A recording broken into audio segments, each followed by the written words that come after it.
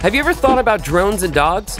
Well, it's only natural that the world renowned dog adventurer Woof Driver has soared to extreme heights with drones to capture and document his epic dog adventures. You gotta watch these breathtaking views and stunning sights, which are guaranteed to captivate you and feel the depths of Woof Driver's passion for his dogs as they adventure some of the most magnificent landscapes and scenery in the USA. You've never seen anything like this.